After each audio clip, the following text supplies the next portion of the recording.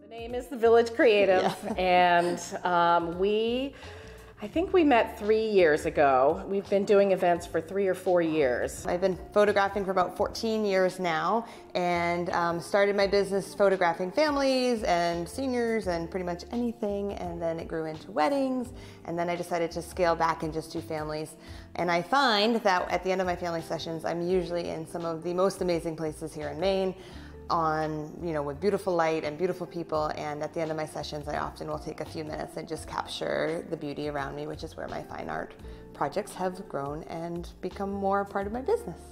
I am an alcohol ink artist. Um, alcohol inks are a fairly new medium. You apply it with a dropper. It's similar to a watercolor, but oilier and thicker. So to make it move around, you need isopropyl alcohol. So you wash a certain paper with the alcohol first, and then you apply it with a dropper, and it has a lot of movement.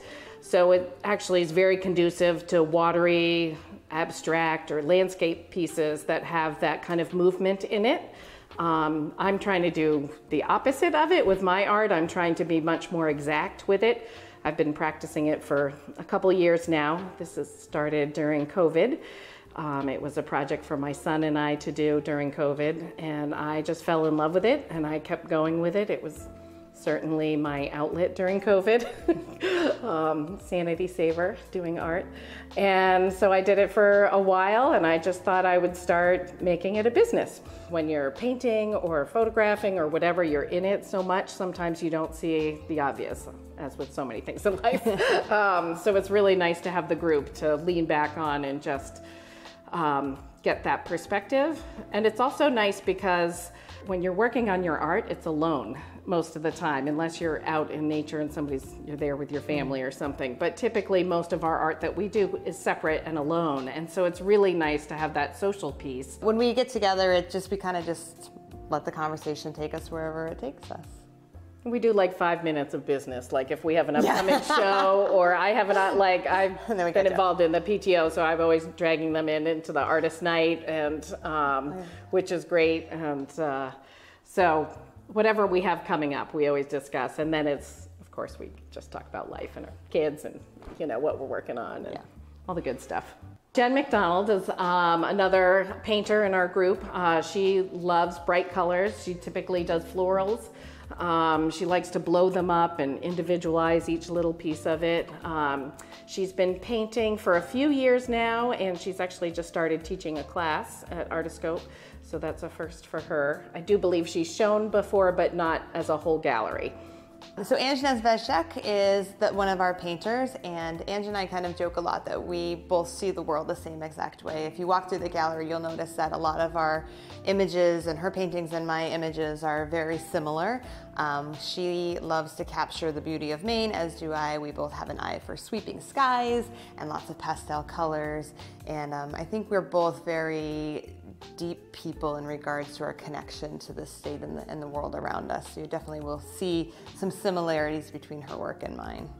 We have another member, Amanda Mitchell, who um, actually introduced kind of all of us together. We each knew her separately, and um, then we decided to start meeting once a month just to talk over art and talk over like what we're working on and and then we decided to have a couple sales, so we've done that together as a group, and we've done different locations. We've done Amanda's house, we've done my house, and then um, this came up that we wanted to do a show, and so we were on the list for a long time, over a year to get in, and it's most of ours very first show, and it's been really fun and exciting to have a show. It's it's very different than selling at a sale. It's um, somehow you put yourself out there a little bit more than just selling a piece here and there. To do a whole show is, is a whole different experience. We named the show Nature's Palette from Earth to Sea, um, and we took a long time trying to figure out how we wanted to name this because we really wanted something that would encapsulate all of our work um, from Jen's flowers to landscapes to Mary's sea life, and, um, and that felt like the best way to just represent our work and just a really nice title. I first met uh, Amanda Mitchell, who owns Delaney Arts. I took a pottery class with her, and then she introduced me to Angela. And then, so we were talking one time, and Angela had said, I really have a need to like do this on a monthly basis to have this social piece in. And then you joined us next through in, Angela, yeah. and then Amanda brought Jen in. Um, so it's kind of evolved, and it's been neat. Um, Amanda is a potter. She's uh, taking a little break right now, but she's phenomenal. Um, she does beautiful sculptural vases and um, just beautiful work. So it was really neat because we had a little bit of lots of different mediums. I definitely feel like we get a lot of energy off of everybody. Mary, I'm going to share my little nickname for you. Oh, Mary, Mary is our. She has more energy than anybody I've ever met. I call her "Can't Stop, Won't Stop" Mary, but it's so great because she just keeps us even when we're. You know, we get bogged down in our work and our lives, and she's like, "Nope, we're gonna meet. Let's go." And, and then we're always glad that we get together, or we're always glad that we do the show. The shows are always fun and festive, and we just get along really well and we, we like do. we like each other's company and we love each other's art and it just is a, a really nice group of, of humans to be yeah. with. Yeah. Our families have become friends. Yeah. It's just really it's really wonderful. If I could fill my whole house with Angela's work, I would do it. a, I know that sounds kind of weird because we are so similar, but she just paints in a way that speaks to my heart. I actually have several of her pieces around my house. It's kind of my little Ange art gallery.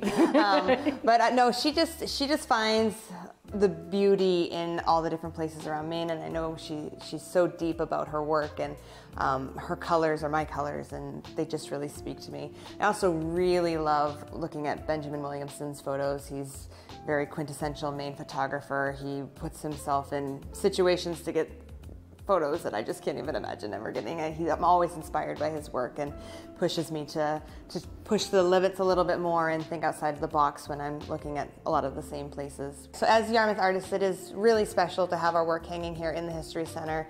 It's a space I've visited a couple of times. I know some people had never been in. Um, we encourage everybody to come in because not only is there beautiful art, but just the history of Yarmouth that's showcased in this place is really special. I know some of us have prints that are from Yarmouth, some are from away, and to just bring it all together in our, in our town is just really special.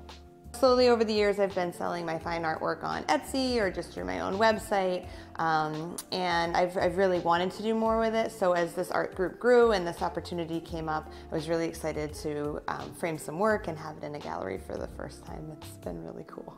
We wanted to do some murals and it just hasn't happened yet. There's always so many steps you have to go through to get some public art out there. So then we just were like, let's try to get a show together. We have enough pieces between the four of us, and I think it would be a great show because we all have a similar theme that we all love the ocean and the sea and nature around it. So it just seemed like it would be the next step for us. We really, really spent a lot of time trying to make sure that the show was a cohesive experience, that our art came together as one collection. Some of our art is very similar, some of our art is very different, um, but we really, we, we put our heads together, we put together collages and really tried to figure out a way to make it all come together that represented who we are as a group, but also who we are as artists individually. Was the first time I've done big framed prints of my work and I just, it was so exciting to see it and it's exciting to see it on the wall. So I'm, I'm hoping to incorporate more of those onto my fine art website as well. Um, and the editing process on these is a little bit different too, which is really fun. I know what I see when I'm there and then I get to go home and, and really just enhance the color and the light and the, you know, the movement and just make my goal is always have somebody who's looking at my fine artwork feel like they're there, like they're a part of it, and that they want to be there, and, and really soak up Maine, you know, through through my photos or you know the art that's on their wall. It takes a, a while to learn how to do anything precise, so a lot of my artwork was much more whimsical, and it would have a lot of these little spatters. Um, on it and that's just you can't really control that that's just when you turn the dropper over with the ink in it and it it comes out and I, I love it. it. To me, it just adds to the painting. But sometimes it doesn't happen at all. A couple of my other pieces don't have a single drop, which to me seems miraculous. But as I've gotten better, I've um, kind of honed it in a little and learned some techniques. Um, but I also print things on tea towels, um, wine glasses. I kind of focus on home goods because I really want everyone to be able to enjoy everyday art is what I like to say. So if you can't afford um, uh, original print, you could enjoy in your kitchen a, a nice blue lobster on your stove or wherever you're going to use your tea towel. And I think that's great too. Because I think everyone should have some art in their life.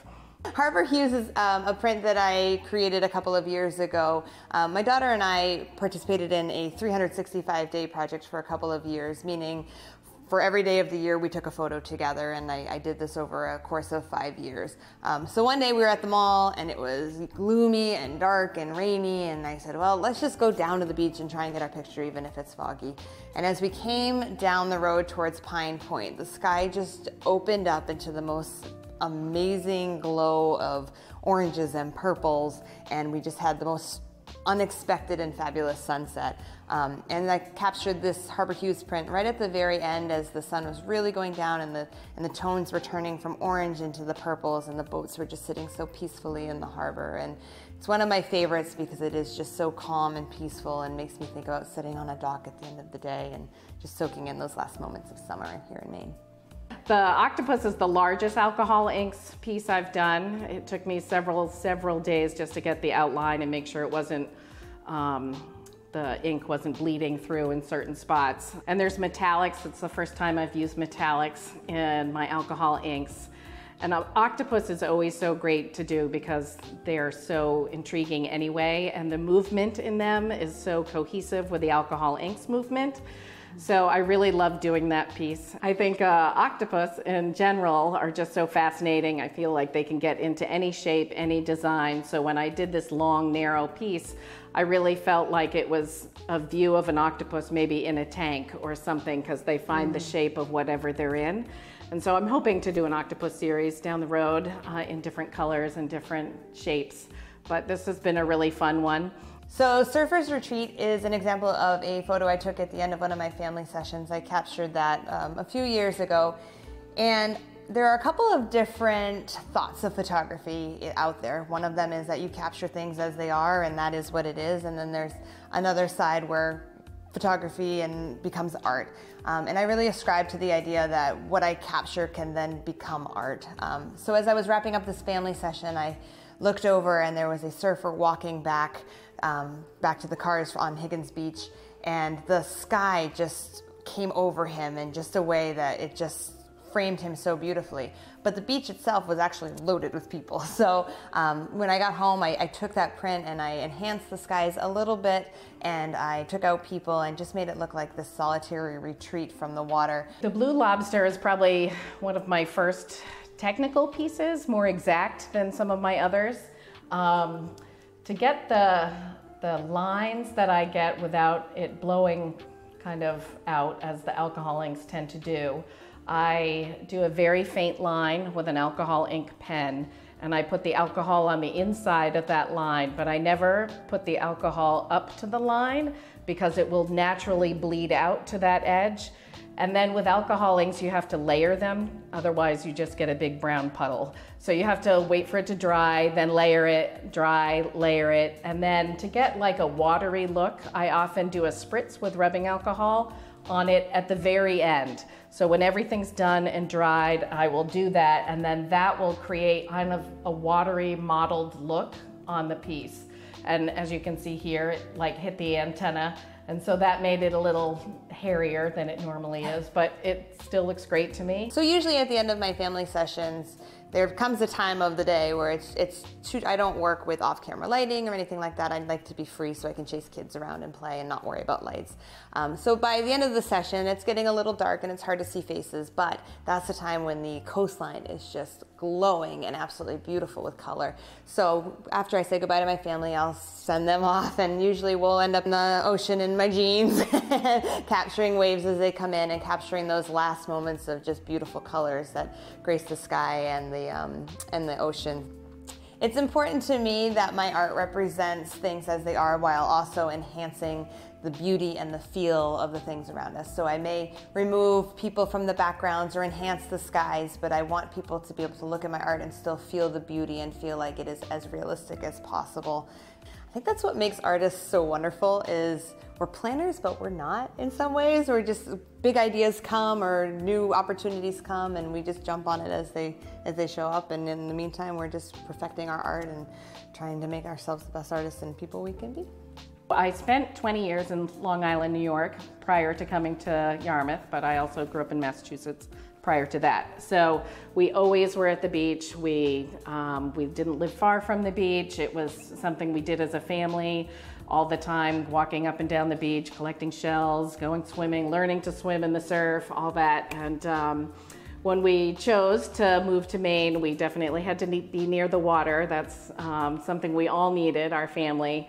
And so it just seems to be that it's like an endless source of beauty. There's so many creatures in the ocean, there's so many um, natural, beautiful colors that are really vibrant that sometimes when we see it all day long, we forget it's there. And so I try to highlight some of those pieces. I actually never knew how much I loved the ocean until I was an adult. I grew up in the Bangor area, so we were a little more inland and we would go to Acadia and we always loved to go visit that area. But um, after I met my husband and we moved here in 2006, I believe, I remember one night we were sitting down at the East End beach and I just had this like overwhelming feeling of, oh my gosh, I can't believe I get to like look at this. I can't believe I live here. I'm so lucky to live here. And as I started my journey with my families, I really found myself drawn to the beach and the colors of the beach. And now I'm obsessed with it and can't imagine living anywhere inland. Um, and really, I, I think it's always been a part of me deeply, but I just didn't know until I was out there living here and getting, you know, getting it on my camera. And, and now that's 100% my happy place is by the water anywhere.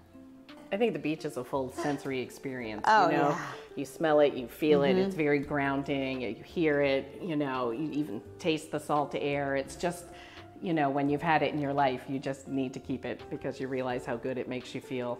It's very centering for me to be by the water, to just listen. It's, it's funny, I have sound sensory issues. I have a really hard time with loud noises or repetitive noises, but I can sit on the beach and just listen to the waves over and over, and it's the only noise that doesn't almost throw me over the edge. It's very, very centering. If I'm stressed out, I go to the water. If I'm happy, I go to the water. If I want to take pictures, I go to the water. I, it's just a very centering place for me. And it's so great living in Yarmouth because every once in a while you'll smell this, you can smell it. Like, Yeah. you know, you live in a coastal town, and then I'm like, I can't believe I live in a coastal town. I'm so lucky. Like, just, it's, it's such a gift that I never take for granted. And even, you know, I have a lot of my families that I work with come from far away. And um, I'm just like, I've been out there a 100,000 times at this point, And at the end of our sessions, I'm still just like, wow, like, look at this. You're so lucky you're visiting right now. Yeah. Yarmouth is amazing for a hundred thousand reasons. Everybody loves Yarmouth, and we, we definitely appreciate this town. But what makes being an artist in Yarmouth is so special is just the support from the community. People want to come support local artists. They want to support local entrepreneurs. Um, we just had a show, uh, um, a sale this weekend, and we had a lot of people come. Um, and I think people, our gallery opening was very successful. People were excited to come see the art. We had kids here, we had adults here, we had community members that we never met. Um, it just feels like a very supportive place to work, live, and do art. I think it's all through Yarmouth that they support art. I know all the schools on every level support art so much, and they have uh, one of their biggest fundraisers is Silver Graphics, which celebrates the children's art, and that's done through the PTO. But they take a child's art and they make it into something special, whether it's a print or a pillowcase or something like that. And then as you go up, uh, the middle school has artist night where they have artists come in and work with the kids, and high school level. They do so much with the art. There's so many options there, so many different classes. So I feel like it's truly community wide that supports art. And I feel it's also a reflection of Maine. Maine has so many artists, and it's just, we celebrate it. And I think we just want to say thank you to the History Center for showcasing our work, for showcasing Yarmouth artists, for inviting people to come in, and for giving us the opportunity to hang our work on gallery walls. It's a pretty amazing and special treat, something we will cherish and remember for a long time. Definitely. What a gift. Yes. The Yarmouth History Center is located at 118 East Elm Street in Yarmouth, Maine. We are open 10 to 4 Tuesday through Friday, and it is free of charge to all visitors.